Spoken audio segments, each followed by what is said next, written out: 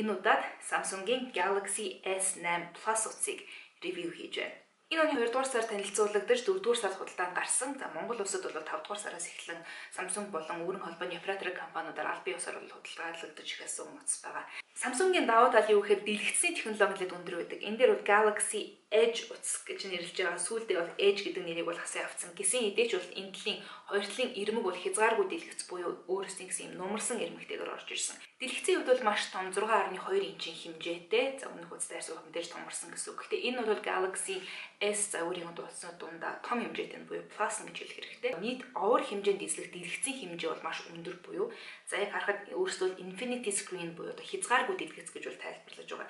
Ирмэгүүд нь бол маш баг ирмэггүй. Ерөөсөө хөндлөнгөөрөө бол ямар ч ирмэггүй утас шиг харагдана. Тэгэхээр дээдл болон доод хэсэгт нь бол зөвхөн бас тодорхой хэмжээний жоохон ирмэг байгаа. За home button button бол өөрөө дэлгэцэн дээрээ hack tactic буюу одоо буцааж өөдөөс нь гэж цогтөг функцтэй толин утас ч юм уу шилэн утас шиг ба санагдах боломжтой. Ямар ч үсэн дэлгэцийг ингээ харах үнцэг болоод энэ үзэгдэх байдлын хувьд бол надад амар таалагдж байгаа айгу гоё үз.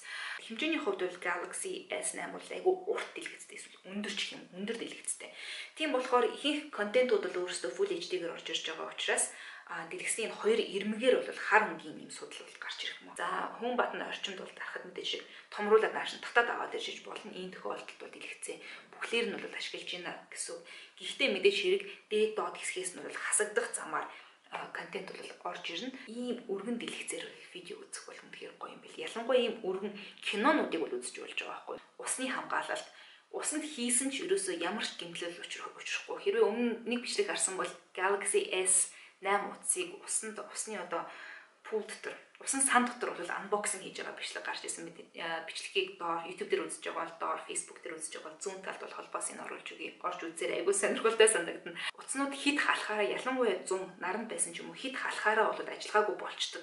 Тэр тохиолдолд дээр нь усаар шүршиж байгаа. Тэгээ арчаад ашиглахад эргээд ажиллагаатай болчихно. Зумааны нэг зэлжсэн өглөө холгоо усанд орохдоо усаа уцаа авч ороо тэгээ угаачаад гарч ирдэг гэд шинэ Galaxy S8-ыг авсан байхгүй. Тэгэхээр байж болохоор бас үргэлж цэвэрхэн уцтай явна гэсэн. Уцны ирмгүүд нь ашиглагдана, артал нь ашиглагдана, дэлгэцний хэсэг өөр ашиглагдж байгаа учраас ямар нэгэн функцийг нь алдагдуулахгүйгээр гэр хийхнэлээ төвөгтэйсэн. Гэхдээ арх хэдийн бол гэрнүүд худалдаанд гараад эхэлсэн мэдээж хэрэг ийм дэлгэцтэй уцныг унах юм бол дэлгэцийн графикийг бол харж байна Samsung-ийн өөрсдийн skin гэдэг тэрнээс бол ялгаатай. Илүү Android утас руугаа илүү ойрхон болсон. Google-ийн гаргаж өгч идэг цэвэр Android гэх юм уу? Тэрнтэйгээ илүү төстэй болж ирсэн санагдаж байна. Одоо яг меню руу ороод үзэхэд маш юм цэвэрхэн олон юм байхгүй мэдрэмж бол төрж. Android утасд байрдаг хүмүүсийн хувьд Google болон одоо Samsung гэж хөвчлэн хуваагдаад байдаг. Тэгэхээр яг энэ хоёр хэрэглэгчдийн хувьд бол ялгаатай байдаг утсан дээр нь ялгаатай байдаг бас нэг зүйл нэг бол navigation bar байдаг. Утсын доод хэсэгт байрлах гурван товч байгаа юм л да. Одоо recents буюу хамгийн сүүлд нээлттэй байсан цонхнууд тэгээ home button тэгээд буцах товчлуурууд байдаг. Google-ийн Android болохоор эсрэгээрээ буцах товч home а тэгээ хамгийн сүүлд байсан цонхнууд гэсэн одоо дараалтай байдаг эсрэгээрээ гэсэн. Тэгэхээр энэ удаад Samsung-ийн утас барьж байгаа хэрэглэгч бол илүү Google-ийн Android-тэй адилхан болох боломжтой болж өгсөн.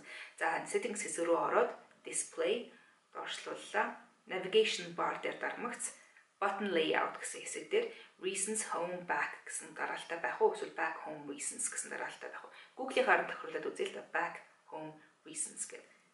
Одоо тэгэхээр буцах товчлуур бол зүүн гарталд орж ирсэн бол гол дээр сүүлийн нээлттэй байсан цонхнууд энд орж ирж байгаа жишээтэй. Default буюу анхны тохиргоогоор байгаа бас нэг сонин зүйл нь хөө Samsung компани дэлгэц яг өмнөх өрсөлдөгчтөөгөө бол харьцуулахгүй сайн ирдэг. Display руу хэрэг ороод үзэх юм бол screen resolution гэсэн хэсэг байгаа. Энд дээр ороход анханасаа ирсэн нэгтэршил нь болохоор 2220-ыг харьцан 1080 гэснийг харж болно. Тэгэхээр энэс нэмэгдүүлээд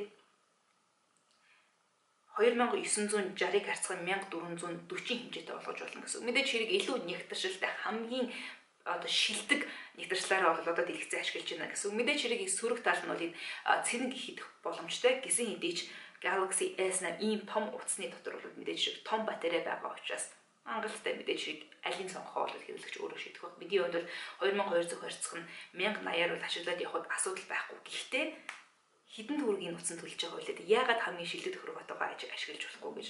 За мэдээж энэ том дэлгэцийг юунд ашиглаж болох вэ гэдэг аваад үзье л да. Веб дээр бол нэг сонирхолтой зүйл ашиглагдчихсэн. Google-оор ороод үзье. За The Verge руу.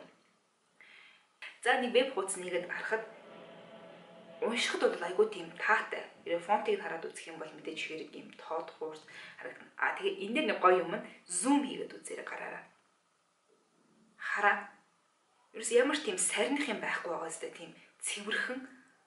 Ямар ч веб пэйж веб хуудсыг бол ингэж нээж авч ирээд. Үндсэн 2 янзын камертай байгаа. Мэдээж хэрэг үндсэн арын камер бол 12 мегапиксел, уртлын камер нь бол 8 мегапиксел. Үндсэн 12 мегапикселийг одоо нэг томруулаад авах шаардлага бол баг байхгүй. Мэдээж ухаалаг гар утснаар бол энэс илүү тод байгаад яах вэ? Хүний нүдэрээ бас хүлээн авах чадамж ч гэсэндээ бас хязгаарлагдмал. Тэгэхээр одоо Samsung бол уртлын камерын дээр илүү анхаарч эхэлсэн. Селфи бол авахд хамгийн төгс камер бол Samsung дээр байгаа. Камерыг бол альч цонхон дээр байсан хоёр удаа бол унтраах төвчлөрөөр орж болно драг тавчлал руу орчлоо. За энэ бол селфи камерын дээр байгаа а автоматар сэ дөрөв зураг дарсныг анзаарсан уу? Нэг удаа дарлахад селфиг бол автоматар ам Mate2 байна уу, Snapchat байна уу. Камера аппнуудад ашиглагддаг технологиг Samsung өөрсдийнхөө үндсэн камерал бол оруулж өгснөөр нэмэлт аппликейшн татахгүйгээр мэдээж шиг илүү тийм арсыг ингэж юм толгор болгосон селфинуудыг бол авах боломжийг бол оруулж ирсэн. Араасаа гэрэлтэй байгаа үед буюу одоо нэлээд харанхуй орчинд бол авч ирсэн бичлэгээс л үзэх юм бол хөдөлгөөний нэлээд сайн харуулж өгч байсан. Нарны гэрэлтэй үед мэдээж хэрэг камер бичлэг авч явахад хамгийн тохиромжтой гэрэл бол нарны гэрэлт байдаг. Гэхдээ эндээ бол хурд ямар байна вэ гэдэг нэлээд чухал байсан. Нарны гэрэлтэй үед бичлэг авч яхад одоо харж байгаа бичлэг дээрээс харах юм бол мэдээж хэрэг хурдан хөдөлгөөнийг бол сайн авч исэн. Мэдээж өнгөний ялгарл нэлээд тод хуурц байсан манай йоги багшаас өөрөө дараа нь бичлэгээ үзэж байгаа тийг хаана ямар алдаа гаргаж исэн гэдгийг бол харахад илүү ойрхон байсан гэж хэлээ.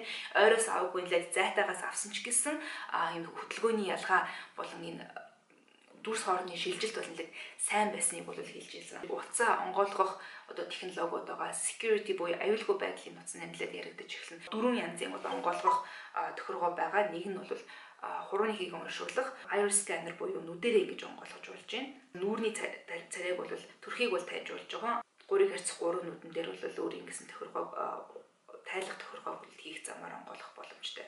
Хамгийн хурд нь бол яг үндэ нүрийг бол таних байсан гэж хэлж болно. Бараг миний нүрийг хизэн таньснаа ч мэдгүйгээр огцон гяс бол таниад ороод ирж байсан. Нэг талаасаа зураг барьж байгаа тэрийг уншуулах юм бол орчих боломжтой, нэвтрэх боломжтой гэсэн байгаа тохиолдол гарч исэн учраас магадгүй нүрээ таниулах нь тийм тохиромжтой биш байж магадгүй. Нүдийг бол танихад мэдээж шиг жоохон зайнаас таних шаардлагатай өмнө түншлэн нарны хурц гэрэлд бол байх боломжгүй гэж исэн учраас алдаа гарах магадлал нь нуртай хамгийн ашигтай хувилбар бол мэдээж хурууны хийгээр бол таних хурууны хийн дээр нэг ядаргаатай зүйл нь юу гэхээр мэдээж хэрэг энэ хурууны хийн өмшигчийн байрлал болоо тиймч таатай биш. Өмнөх одоо пиксел утсан дээр ч юм уу Google-ийн пиксел утсан дээр бол энэ доод хэсэг төвд нь байх гэдэг. Уцаа барьж агаад төвдөө уншуулна. А энэ дээр болохоор жоохон дээшээгээ Тэгээ камерны хажууд уншуулж байгаа учраас нэг талаасаа андуураад хүмүүс камерын дээр уншуулах магадлал бол байгаад багш. Би бол ямар ч хэд хэд удаа камерын дээр бол уншуулсан тохиол надад байгаа. Уншуулсан. Уншуулах гэж оролцсон мэдээж хэрэг уншаагүй. Энэ утасны бол үний хувьд аваад үзэх юм бол ойролцоогоор 2000 2 сая 220 мянгаас 2 сая 439 мянган төгрөгийн хооронд худалдаалагдаж байгаа маань Samsung өөрсдөө 2 сая 220 мянга гаруул зарж байгаа. Unity дээр бол 2 сая 288 мянган төгрөгөөр зараад нэмэлт бол 4 бэлгийг бол өгч байгаа юм билээ. DevX гэх хамгийн гоё энэ утсыг компьютерийн процессор болгож ашиглах боломжтой ийм суурийг бол дагалдуулж өгч исэн. Нэмэх нь 80 GB-ийн дата ирэх гэр интернетийн төхөөрөмж тэгээд Biandurag бол Galaxy Gear 360 360 одоо химээр бичдэг камеруудын аль нэгийг бол сонгож дагалдуулж өгөх боломжтой болж байгаа юм билээ. Mobicom дээр бол 2 сая 439 мянган төгрөгөөр за Galaxy S8-тай болох юм бол хэрэглэж болох зарим бусад функцүүд юу байж болох талаар сонирхолтой зарим бичлэгүүдийг хэрэг YouTube дээр үзэж байгаа бол доо description bar хэсэгт хэрэг Facebook-оор үзэж байгаа хажуудлын description bar хэсэгт холбож өглөө мөн түншлэн бусад Монгол ревюнуудыг унших хүсэх юм бол хэрлэнгийн ревюг би бас зоор эсвэл зүүн гарталд бол холбож өгсөн байх болно. За дараагийн видеогоор ихэд уулзъя.